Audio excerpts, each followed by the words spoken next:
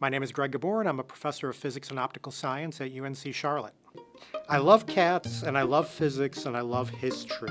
I first learned about the falling cat problem by just browsing old scientific journal. Physicists have been studying how cats land on their feet and trying to figure out the problem, going back even to the time of Isaac Newton. But they're one of the few animals that we know of that can actually do this righting reflex and flip over and land on their feet.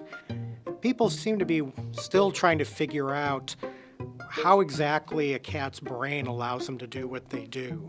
What you can see in this video is the cat's leaping up to try and grab at, I think, a piece of snow. And as it does, it starts to flip over backwards. And what the cat can do in this situation is it counter rotates the front and back halves of its body in order to provide an overall change in its orientation. Imagine my hands represent the front and back of the cat, and then the cat can bend at the waist and it can counter rotate the front and back halves of its body and then open back up so now that it's right side up. It's known as the bend and twist maneuver. When you look at the falling cat problem, it turns out that the mathematics involved in it is the same mathematics that appears in a lot of very profound areas of physics, including quantum physics, optics, which I study, as well as even the motion of the Earth.